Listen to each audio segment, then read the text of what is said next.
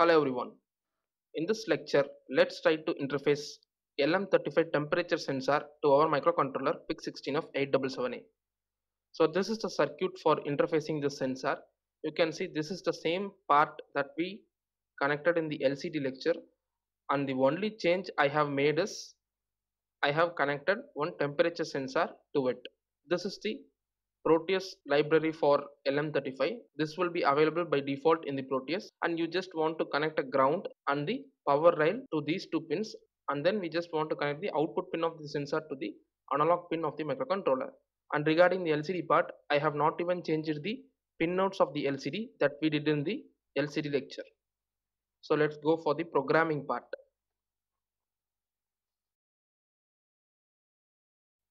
And initially, as I mentioned in the previous lectures, for using any interrupt in our microcontroller, we just want to enable global interrupt enable bit and the peripheral interrupt enable bit that I have done here.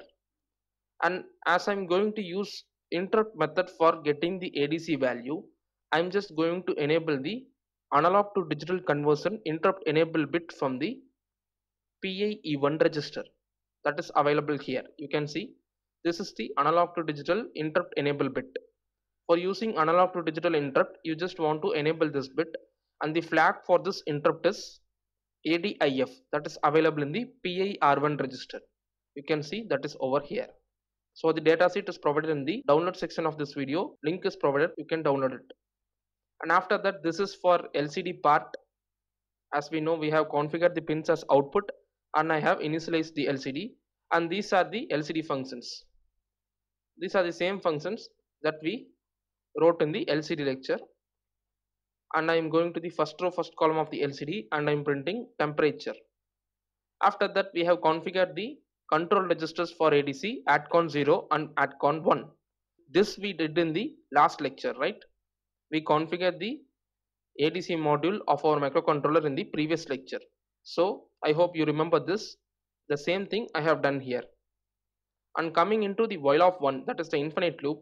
The first step I am doing is I am enabling the GO/DONE bit of the ADCON 0 register for triggering the ADC conversion.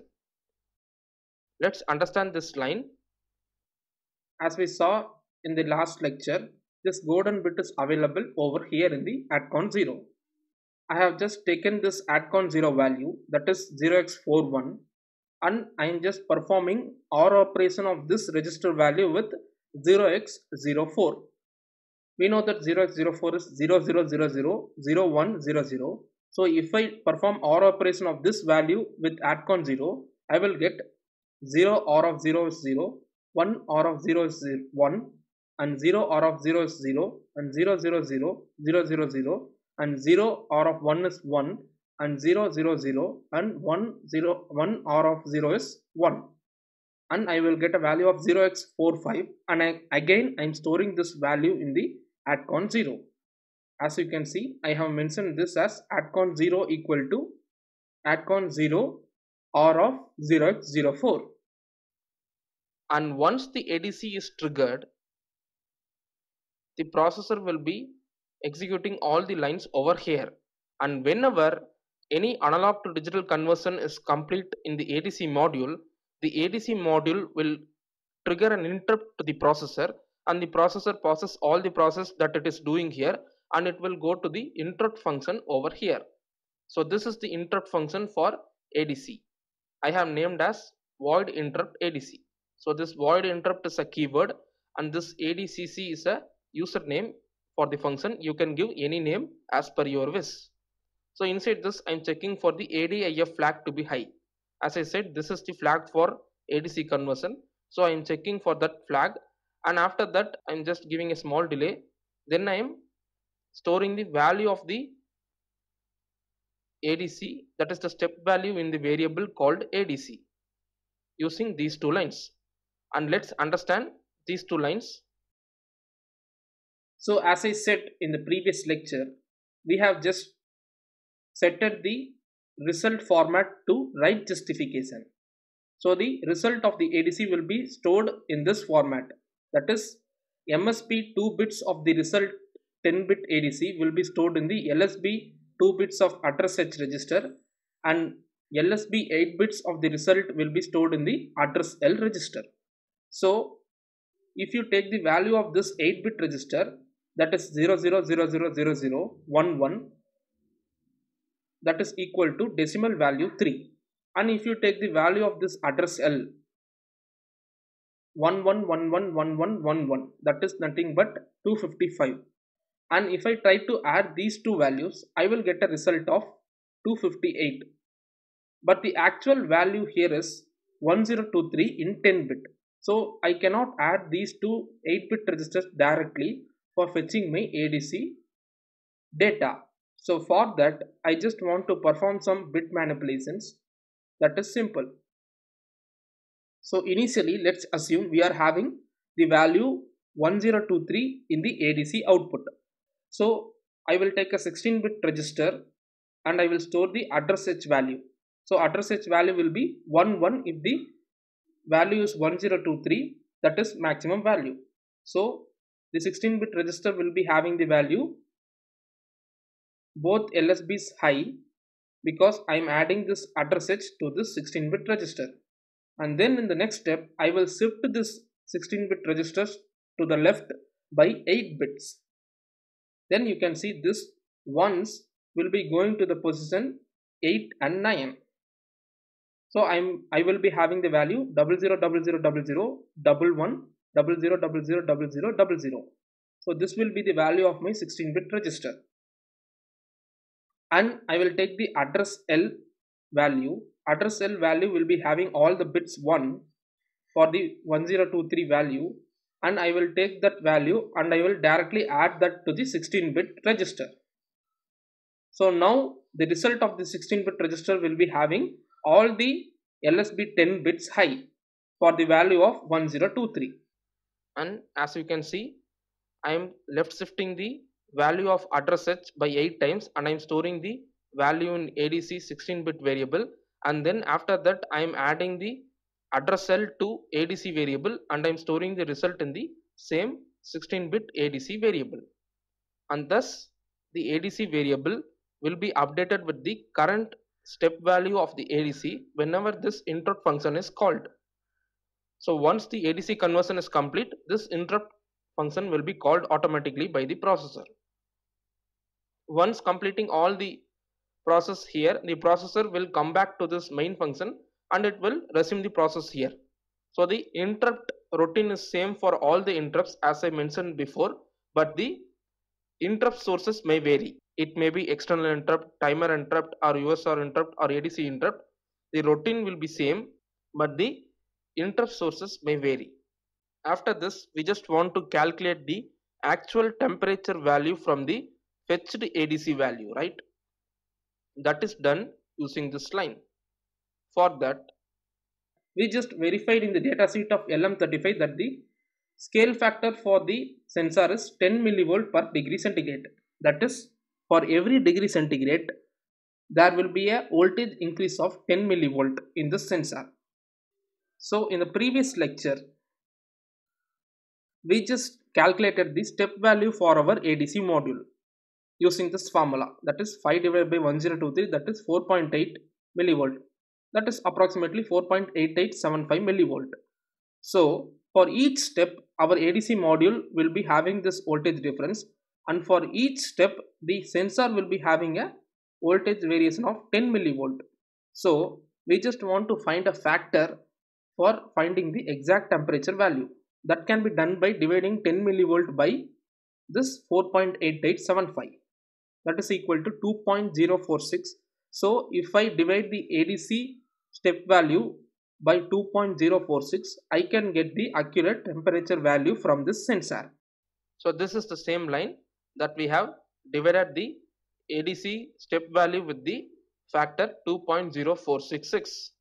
So this will help us to fetch the actual temperature value and after that this line temperature equal to ADC 1 into 100 is used for fetching the two of the decimal place values for printing that to the LCD. Let's understand this.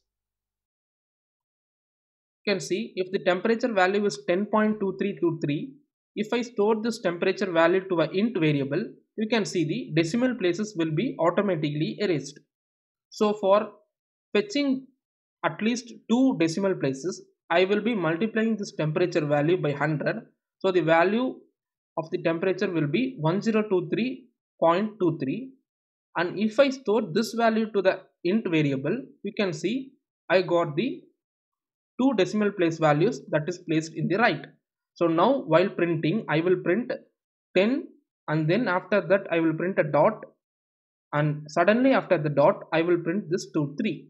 So I can accurately show the temperature in my LCD. Once the two digit temperature value along with the decimal two places value has been fetched to the temperature variable, we will split that four digit number using these lines. That is, let's assume the temperature value to be 1023 in the beginning. And this A equal to temperature divided by 10. That is, we are just typecasting this temperature variable that is float to int using this line and using this line a equal to temperature divided by 10 we are storing 102 in a. And using this line b equal to temperature modulo 10 we are storing the last digit that is 3 to the b. And we know that now a is 102 so c equal to a modulo 10 will store value 2 in c and d equal to a divided by 10 will store 10 in d and e equal to d modulo 10 will store 0 in e that is the second digit in e and f equal to d divided by 10 will store first digit in f.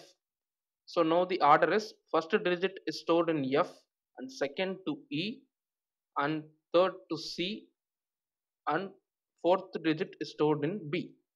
So we will print the first two digits F and E and after that we will print dot and after that we will print next two digits that is C and B. So the temperature values will be accurate to two decimal places. After that we are printing centigrade. So that's it about the program. Now I am building the project using the button over here.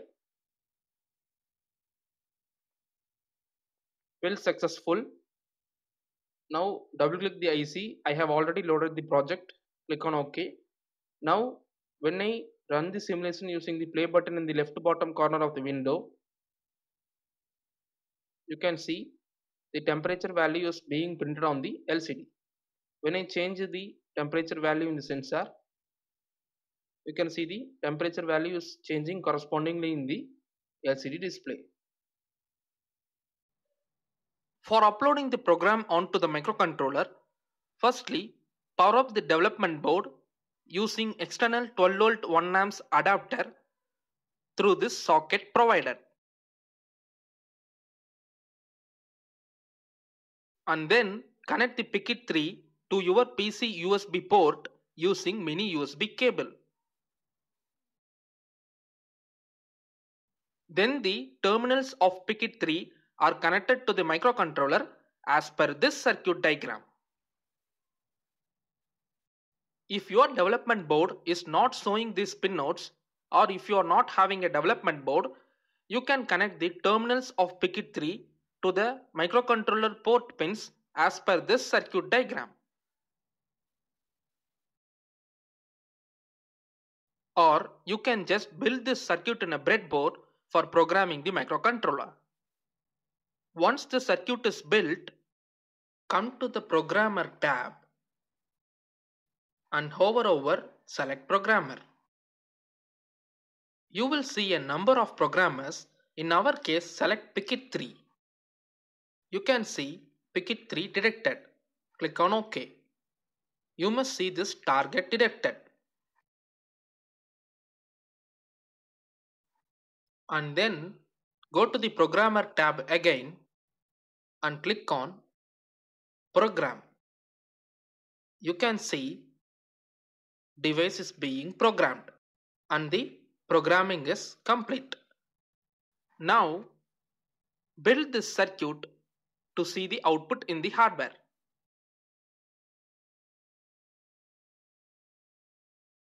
And you can see this is the output that I got in my hardware.